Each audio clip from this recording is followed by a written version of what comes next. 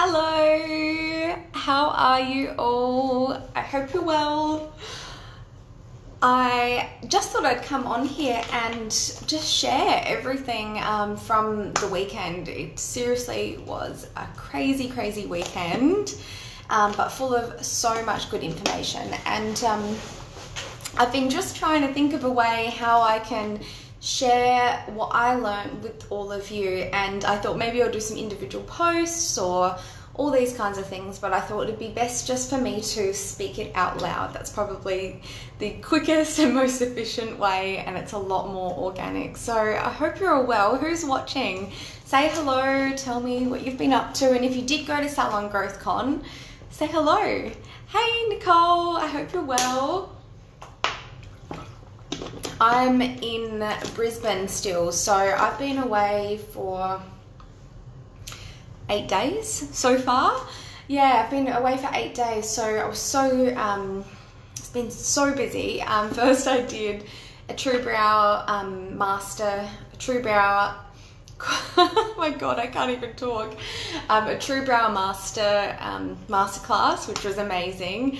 And then I went to Salon Growth Con, and now I've just completed three days of skin education with Dermaviduals and doing a bit of skin needling. Oh, good. Nicole says she can't wait to hear all the news. Awesome, awesome, awesome. Seriously, my mind is like explosions. I've learned so much, and um, since being away for this long, my body has really just like uh, shut down. Immunity's just gone to crap, and my digestion's not good. As you can tell, I got a cold sore. my skin is breaking out, but it's all good. I'm here, and I'm going to share with you what I learned. So.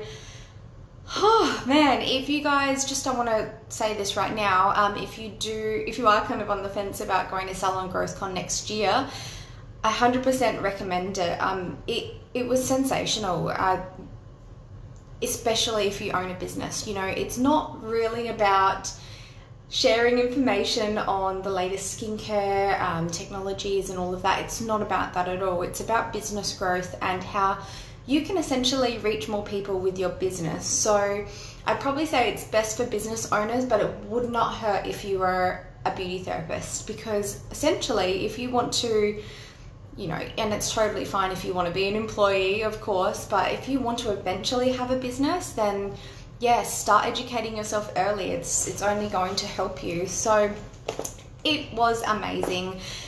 If you're lucky, Billy Rickman might be doing um, the tickets a little bit cheap at the moment. Um, I think he had a special going, so go jump onto the Salon Growth Con website I think it was 40% off. I hope it's still there. Um, but yeah, it's for next year. You can buy tickets early at a discounted rate. It's going to be in Sydney, so that would be awesome. Anyhow, I'm just going to get straight into it, and I don't have any particular order in what I'm going to share, but what I will do is actually share below. Hey Jen, how are you? Um, it's good to meet you today. Um, so, a little what I will do at the end of this broadcast, I will um, pop in the comments all the speakers um, and anyone that I mention. Um, so you can kind of just go check them out because um, they're all amazing. They all deserve recognition and um, they all offer free content. Um, and you can just continue to learn from them. And really, that's just going to make you an amazing, amazing beauty therapist. So, and a business owner, of course. cool. So, I'll, just try and remember um, all the speakers in chronological order. And the first person I had the pleasure to listen to was the lovely Angela Sanchez. If you haven't heard of her, you definitely need to go check her out. She runs the business called Beauty Business Co. Hello, Amy. It's nice to have you on here. Um, yeah, so she she runs Beauty Business Co. So it's basically um, it's a business um, where she offers marketing material, so a lot of social media graphics and a whole heap of um, really, really helpful um, advice for business owners. Um, and she also has a podcast called Confessions of a Hashtag Beauty Boss, where she interviews beauty therapists um, in the industry and kind of like divulges their story and what it took to become the person that they are. So she was amazing. Um, definitely, I'll put her handles below. But um, so she mainly spoke about social media, and I think if you are a business owner or if you're a beauty therapist wanting to kind of create your own portfolio, this will be really, really helpful for you. So she spoke about um, using collaboration community. Hey, Rebecca, and hello, Ali.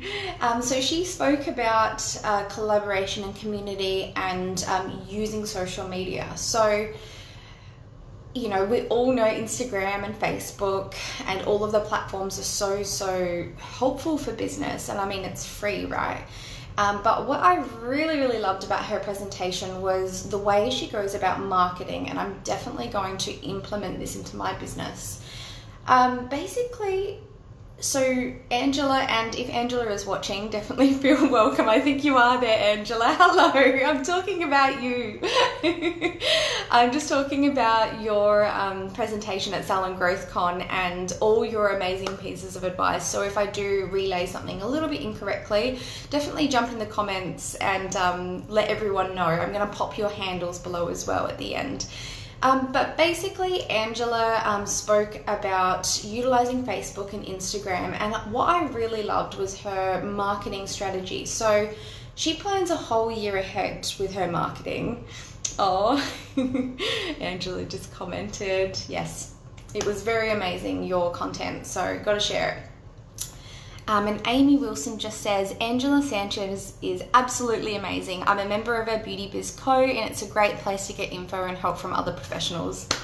Amazing. Love that endorsement. Couldn't agree more. Uh, so she has she, she basically plans her marketing 12 months in advance. It's a bit of a mouthful.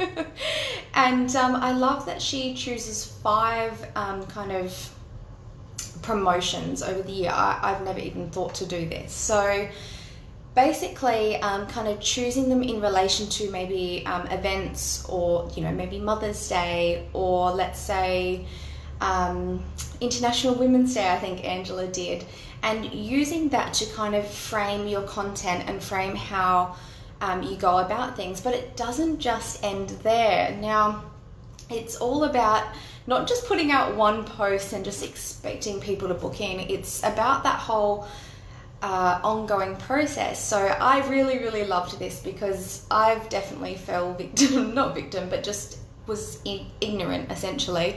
I would just put one post out there and boost the post, put a bit of money on the Facebook ad and go, yeah, everyone's gonna want this. But essentially, um, that's not how it works. You really have to um, integrate all the features and functions of social media. So I loved how she had a promotion for International Mother's Day. So first she did, um, I think it was for Free Jade Roller. I think that's what it was. Um, so basically, first she did a post on Instagram, one on Facebook, and then she then featured um, this uh, this promotion in her next story. So I think she had her son do like a little jade roller on her head, and that would have been just absolutely adorable. Um, and always putting a call to action at the end. Um, I reckon she followed that up with maybe another video or another post. But it just goes to show that it's not just about putting one post out there and just hoping for the best. You know, you really got to have a call to action and continuously share this theme across all platforms.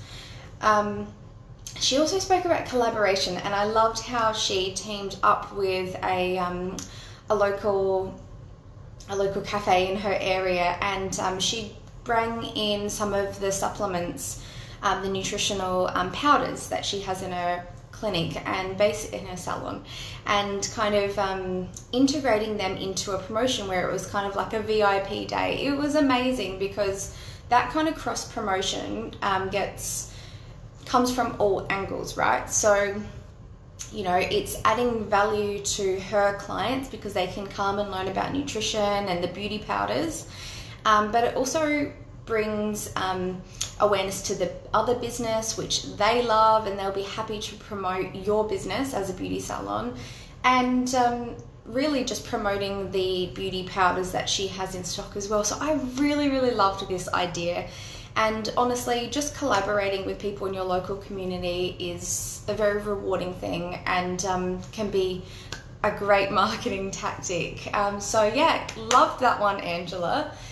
Uh, oh goodness, what else did she talk about? She did mention hashtags and how to utilize groups.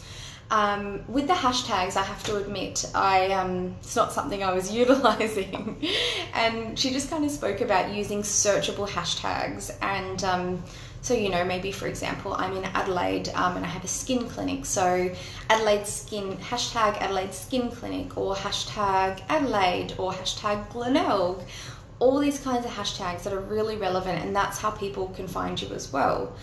Um, there's also the point on utilizing groups, so creating like a little VIP group for your salon um, could be really helpful. I feel like I have not had a breath. Let me just have a sip of water.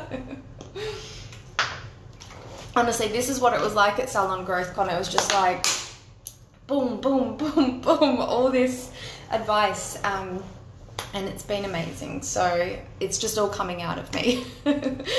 um, so, yeah, utilizing groups on Facebook. So, creating a little community for your clients. Um, not so it's really about having a special place for them.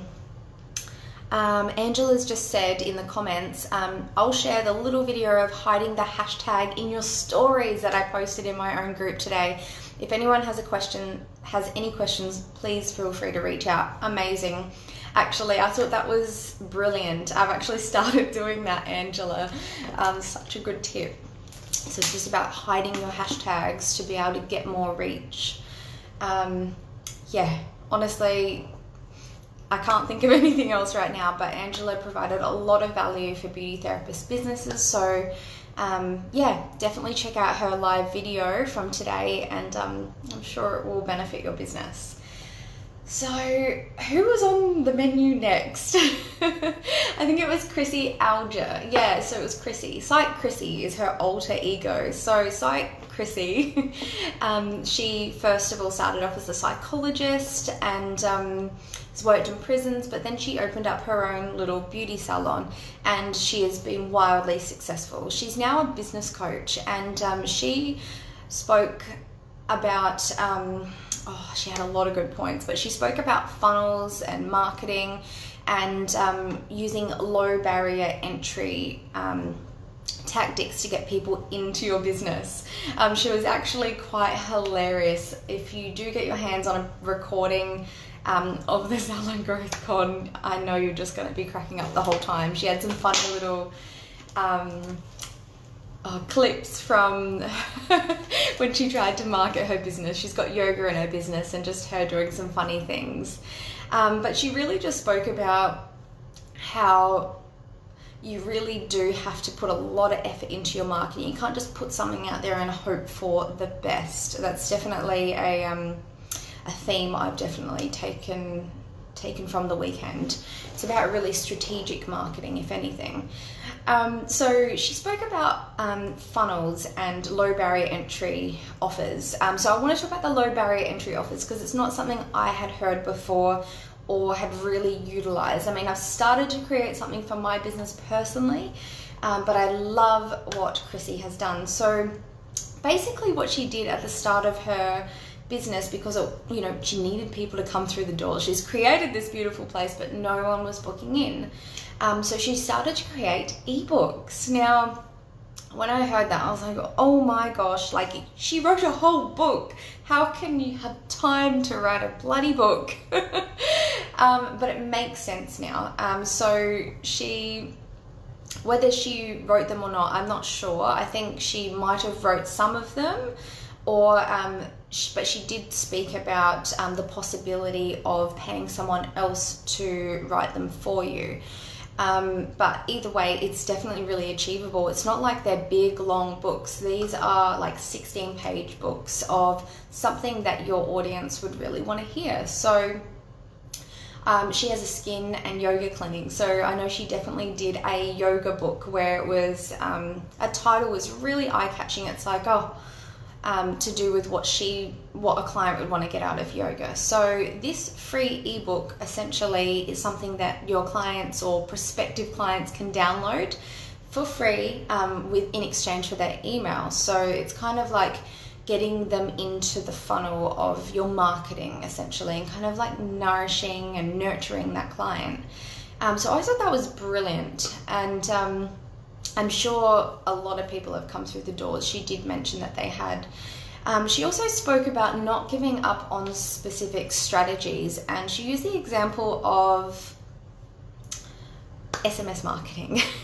she said she tried so, so many times to use SMS marketing with no, um, oh, with no success essentially until she just kept perfecting and perfecting her message and she finally created a script on SMS that was wildly successful. So I really loved to hear that because it's not as if she did it one or two times. I think she said she tried like 50 or more different texts before it became successful. So yeah, that that was really great to hear that because it, so easily people just go, "Oh, Facebook marketing doesn't work or Facebook advertising doesn't work. This doesn't. Oh, I tried this in my business, doesn't work. But how many times did you try it? So, loved that message, Chrissy. Um, so, yeah, SMS marketing is something to look into. Um, and she really did speak about kind of broaden, broadening your knowledge. And she spoke about how, while she was in this process of building her business, that she was listening, you know, reading e um, audiobooks, listening to audiobooks, and listening to podcasts, and really learning the skill of copywriting. I think that's definitely something worth looking into if you have a business. Um, copywriting is a whole nother topic in itself. I'm trying to learn it myself, but basically it's just persuasive um, writing essentially. So persuading people to follow your instructions through writing. So this can be really helpful for a business, and she did harp a little bit on about that. She spoke about utilizing um, Fiverr.com, um, sorry, Upwork.com. They're very similar. And um, whew, what else? Oh, she also spoke about sales um, consultations and sales scripts. Now, you can head over onto, I think, one of Chrissy's pages. I'll try and find it and put it below. I'm sure you'll be able to find it in her video histories. But she kind of elaborated on her consultations and how doing a consultation um, for your clients is not just, you know, a 10, a 5 or 2 minute thing where it's like, okay, tell me about your current skincare. You know, it's about really extending this and um, setting them up for the sale. Now, I hate kind of talking like that because I'm like, oh, I just want to help my client, but it kind of, if you are wanting to be successful in this realm of become, you know, being a beauty therapist um, that owns a business, you really, and especially with um, skin, you really do need to sell retail. That's how you're going to grow your business, right? Um, so it's about she kind of spoke about doing a consultation and qualifying the client. Now, she has an amazing video on this, so I really don't want to harp on too much about it. Um, so definitely go check it out. Um, when I put her handles below, you'll be able to see it there. Um, but yeah, I thought it was brilliant, and I'm looking forward to receiving her little um, script on how she does her consultations in the email. I think she offered it as a free gift, but you could definitely take um, snippets from her video, but it's really just about using psychological um, techniques to set the client up for feeling amazing and feeling like they actually want your help because also often us beauty therapists we are so excited about the knowledge that we know and we just want to give give give to our client but sometimes you know we might just be sitting there going, rah, rah, rah, like, oh my God, love vitamin A for this reason, this reason, this reason. And we're not actually relating to the client, we're not getting them involved, and we're not kind of qualifying them for the results essentially. So, definitely check her out. She had a lot of good things to offer. Um, I thought it was brilliant. Wow, there's so many speakers, and this is going to be such a long video, so I'm going to try and recap as well as I can. Um, I didn't get to see all the speakers, I have to admit, because yeah, there was just so many, and there was some of them kind of interlapping. Um, you know, there was roundtable events, and then there was the live speakers, so I didn't get to see them all because I kind of just pick and chose. Um, but who comes to mind? Ooh. Billy Rickman was amazing, of course. He's the guy who ran the event, and he spoke about utilizing bots, um, so messenger bots. That's something to really, really look into. Um, it's basically Facebook marketing for um, your messenger and um, replying to your clients quicker um, and in a more oh it's just it's just amazing. It's basically allowing a robot to reply to your clients for you so you're getting bookings while you sleep essentially. I'm sure it's a lot more complicated than that and there's definitely bot software um, but that's what billy was talking about and i believe he does have a bot for sale or at least a bot training so yeah check that out if you're interested but it's definitely the way of the future and um, we've really just as business owners in the beauty industry we've really got to get up to times. You know if we're still putting out flyers and we're still advertising in local newspapers um, hey that might be working for you but if it's not it's it's definitely time to take a look at your marketing.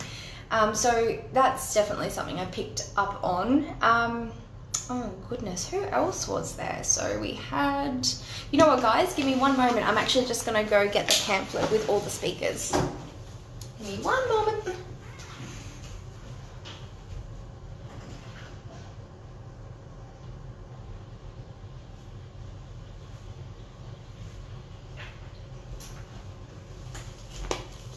Here we go. Probably should have grabbed this before, but I thought I'd be able to remember it all off the top of my head, but that's okay. Oh, of course, we had the beautiful Tabatha Coffey. I don't know if you guys have heard of her, but she actually started her journey as a hairdresser in the Gold Coast. It was really awesome to hear her speech. She basically just spoke about some of the backlash that she received um, from, you know, starting her own TV show and um, just what some of the comments were. And she spoke about just owning your just owning who you are and just being a really amazing person, an amazing woman. She has a really good analogy for the word B I T Z H, something that she got called a lot. Actually, you should go see her TED talk on being a bitch. Um, she used to get called it over and over again, but she has a beautiful analogy for it, and um, I think we all kind of need to hear it. Um, so we also had Bridget Benge, we had Amanda Gore and Sandy Chong. I only saw little bits and pieces of those amazing women, but Bridget Benge is has been in the business mentoring realm for at least 20 years. Someone to check out. I'll pop her below. Sandy Chong, she's from the hair industry. She had a lot to share. Um, oh, we also had Selena. Oh, from Hair Aid. So I'm definitely going to share with you guys what Hair Aid is because they are looking for beauty therapists to do some um, volunteering over in Manila for families of um, people who are literally living in the slums. So teaching them skills so they can put their children through school and so they don't have to live on the streets. Like it was so sad to hear some of the stories. Um, yeah, people literally like digging holes in the ground and then putting tin over them, and that's their house. It's crazy. So if you, I will pop hair aid below, but if you can volunteer your time, I'm sure it'll go a really long way. We had Amanda Hodgson, and she was just amazing. She really spoke about how fitness and having an exercise regime is just so, so beneficial to your success um, she actually is running a 30 day challenge that I said I would I would com- continue to do with them. I think it's three days in and I haven't done it. Terrible, but I'm still away and a little bit out of routine. Moving house this weekend, so that's just an excuse. um, but if you do want to get along on her um, fitness challenge, she is holding one and I'll link her below. Um, but I really love how she spoke about habits and how exercise and all these components, they really do contribute to your success as a as a person as a business owner as whatever you would like to be we also had Caitlin Menzel. She was pretty amazing. She spoke a lot about knowing your numbers. Like, come on. that was kind of my um, take on the way she speaks. She was just like, guys, you really got to know. You got to know your numbers. Um, and it was about effective salon management and team management. And um, she has some really good things to be talking about. Um, good that did not make sense. Some really good points um, that she spoke about running a team, and you know, I loved I loved this one actually. So if you are a business owner in the industry, whether you're in hair or beauty, you should definitely do this. Um, so she doesn't wait for her therapist to come to her and ask for a raise. She, you know, she has targets and she has um, all these protocols around reaching your targets and performing. So when she actually tracks and sees that a therapist is doing amazing, she comes to them and she goes, "You know what? I'm going to give you a raise." And how amazing would that feel if you're a therapist? I thought that was really cool because that's what's going to keep your team working for you. That's how you're going to create good relationships in your workplace. Um, she also spoke about morning huddles and the importance of, you know, getting together with your team in the morning or at least once a week, taking them out to lunch, all these little extra things that a lot of businesses really just aren't doing. So, yeah, love love what Caitlin Menzel had to share. Um, we also have Rebecca Miller. Now, I was so, so sad I didn't actually get to hear all of her. Um, of her talk. Um, I came in at the end. I have to admit, I had to have a little bit of a sleep in after the night before. I was just so tired. Um, but Rebecca spoke a lot about marketing and having a team. Um, if you're a skin therapist um, or beauty therapist and you love skin, she has a lot of good information on skin, so I'm going to share her below. Um, she's absolutely amazing, a beautiful human being. Uh, we also had the lovely Elle and Toby Wilson. Oh my goodness, I was at the ed- edge of my seat listening to them. I was just mesmerized by what they had to say. You know, it was such a beautiful, beautiful husband and wife duo. Um, they have a lot of good things to share just about the way you kind of, oh, just about meaning and just about operating as a business owner. You know, she really spoke about burnout and being an empathetic person, being a spiritual entrepreneur. Um, she spoke about kind of taking charge of your mind and um, running your business in a much more deep and meaningful way. So she spoke on the importance of oh, just mastering your mind and not letting yourself burn out and not and kind of utilizing techniques of marketing that don't require money. So about it's kind of about really capitalizing on um, word of mouth essentially. Um, so she has a lot of different handles that you can go follow. She is wildly successful um, with her international um, True Brow. Um, company, but um, yeah, I'm definitely going to share her below.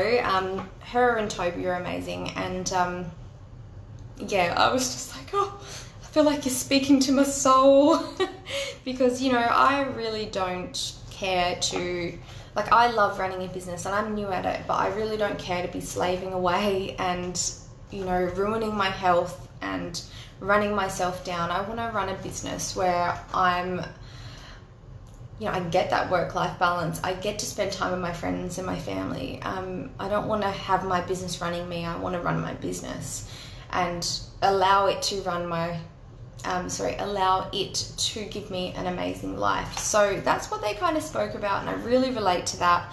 Um, so it was just kind of about being aware of the numbers, being aware of what's going on in your business, and being aware of what's working and tracking that. So amazing, amazing people. Um, we've also got Emma Ebling, and so I have to admit, I didn't even see Emma at all the whole time. I must have went out Yes, I did. I went out for her session. Um, I went and listened to the roundtable event for Asti Marie, who's a sexual empowerment coach. She is beautiful and amazing. Um, and I also didn't get to see Jess Holmes. I think I was also doing a different roundtable. Who knows? so yeah, I'm definitely going to share them below. Um, so Asti Marie, so she's actually not from the beauty industry, but she does have a lot of good things to share. So she's a sexual empowerment coach, and she spoke about um, femininity and taking care of yourself and some kind of the bitchiness in the industry as well. So, talking about empowering women and talking about women. Hello, Talia. It's so nice to have you here. Um, so, Asti Marie, amazing, amazing woman. And one of the key points that I really took from her talk was that you know, whenever we talk down about another woman um, and we're really bitching behind their backs or we're saying not so nice things, what we are essentially doing is hurting ourselves and not just hurting ourselves, but hurting women altogether, you know. The reason why you're pointing out someone and being rude or putting them down is because you're seeing something in yourself that you don't like and you're seeing in that person, or maybe you aspire to be like that person in some way, and just kind of reframing it like that. And basically, she just said, Look, it's just, it's not good enough, and um, we need to. We need to bring each other up. It's it's not good at all.